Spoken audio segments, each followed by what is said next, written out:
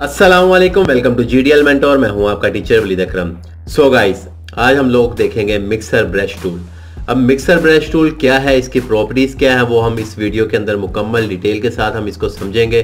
सो so guys video को start करने से पहले चैनल को सब्सक्राइब कीजिएगा लाइक का बटन दबाएँ, और अगर किसी को किसी भी पॉइंट पर समझ नहीं आती या कोई पॉइंट आपको मिस हो जाता है, आपको क्लियर नहीं है तो आप कमेंट सेक्शन के अंदर मेरे से पूछ सकते हैं, मैं आपको इनशाला उसका जवाब ज़रूर दूँगा।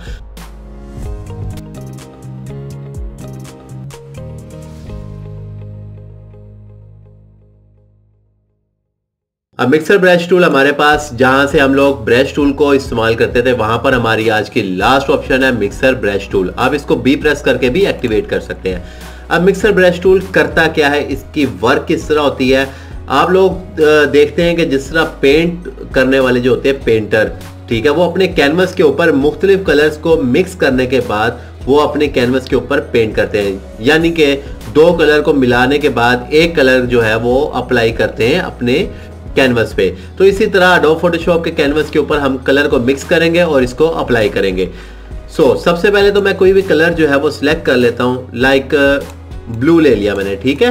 ब्लू लेने के बाद अब हमारा यहाँ पर कलर आ जाता है ठीक है? अगर सम टाइम होता है यहाँ पर क्लियर होता है क्लियर ब्रश होता है आपका। कोई कलर नहीं आ रहा। तो जब आप यहाँ पे कलर सिलेक्ट करते हैं, मैंने सिलेक्ट किया ओके किया, आपका ऑटोमेटिकली आ जाता है। अगर सम टाइम नहीं आता तो आप इसको लोड ब्रश करेंगे। लोड ब्रश करने के बाद आपका कलर तब भी लोड हो जाता है। क्लियर हो गया ये? अब हमारे पास यहाँ पर पिंक कलर के अंदर हमने कलर करना है। वो हम किस तरह करेंगे? मैं इसके एच पॉइंट के ऊपर यहाँ पर अपना ये ब्लू कलर इस पिंक के साथ मर्ज करूँगा। ठीक है? आपने थोड़ा सा राउंड शेप में इस तरह उसको मिक्स करना है। तो यहाँ पर हमारे पास एक कलर शेड बनना शुरू हो गया हुआ है। दो कलर का शेड अब मैंने यहाँ से कलर पिक कर लेना, जो मैंने यहाँ पर कलर मिक्स किया यहाँ से मैं दोबारा से ब्रश के साथ ऑल्ट प्रेस करके क्लिक करके मैं यहाँ पर ब्रश ले लेता हूँ। मेरे पास अब ये देखें आप। अब ये इसका पेंट कलर किस तरह का मेरे पास हो गया? पिंक और ब्लू का शेड के अंदर मेरे पास एक ब्रश आ चुका हुआ है। इसी तरह आप अपनी मुख्तलिफ़ जो है पिक्चर उसके कलर को मर्ज करने के बाद आप कोई एक कलर निकाल सकते हैं। जैसे अगर मैं यहाँ पर पिंक कलर के ऊपर ऑल प्रेस करके क्लिक करता हूँ, मेरा पिंक कलर यहाँ पर हमारे ऊपर बॉक्स में लोड हो गया हुआ है। करंट ब्रश लोड में हमारा यहाँ पर ब्रश जो है वो लोड हो गया पिंक कलर। अब मैं इसको ब्लू के साथ मर्ज करता हूँ। ब्लू लेयर के साथ मैंने इसको मर्ज करना शुरू कर दिया हुआ है।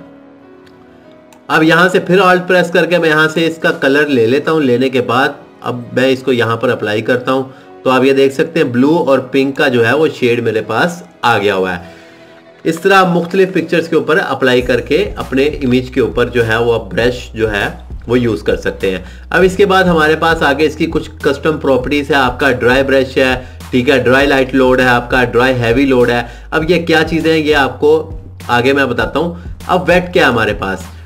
वेट जब भी कोई पेंटर अपनी इमेज को पेंट करने लगता है तो वो सबसे पहले अपने ब्रश को वेट कर लेता है, यानी कि गीला कर लेता है। अब वो कितने परसेंट गीला करता है? आप अपने ब्रश की टिप को गीला करता है या पूरे का पूरा ब्रश गीला करता है?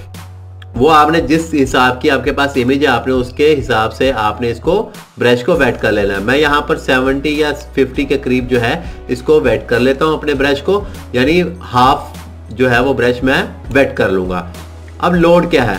लोड हमने कितना कलर वहाँ से पिक करना है अपनी ट्रे में से। जब आप कोई भी पेंट कर रहे होते हैं तो आप पेंट को पिक करते हैं। तो इस तरह मैंने यहाँ पर कितना पेंट पिक करना अभी तो मेरे पास यहाँ पर 100 परसेंट है, लेकिन हम यहाँ से लोड इसको कम कर लेते हैं कि हमने थोड़ा जो है वो लेना है। और कितनी परसेंट हमने मिक्स करना है दूसरे कलर के अंदर?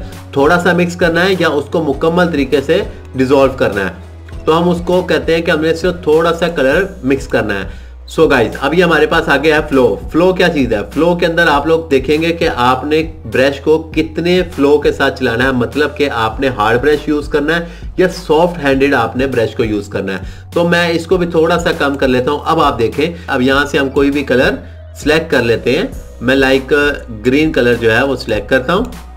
करने के बाद ग्रीन मेरे पास आ चुका है। ग्रीन को मैं यहाँ पर ब्लू के ऊपर अप्लाई करता हूँ। तो आप देखें कि कितने फ्लो के साथ और जो है वो सॉफ्ट हैंडेड जो है मेरा ब्रश मूव कर रहा है। मैं यहाँ से कलर अब पिक करता हूँ। पिक करने के बाद यहाँ पे इसको अप्लाई करता हूँ। ग्रीन और ब्लू का कंट्रास्ट मेरे पास आ गया हुआ है। इस तरह आप अपने मिक्सर ब्रश टूल को यूज़ करके अपने मुख्तलिफ़ पिक्चर्स के ऊपर उसके जो है स्टाइल उसके डिज़ाइनिंग पिक्चर के अंदर अगर आपने बादल वगैरह बनाने हैं क्लाउड बनाने हैं, या आपने कोई पेंटिंग करनी है तो आप इस तरह मिक्सर ब्रश टूल का यूज़ करके अपनी इमेज के ऊपर इफ़ेक्ट डाल सकते हैं।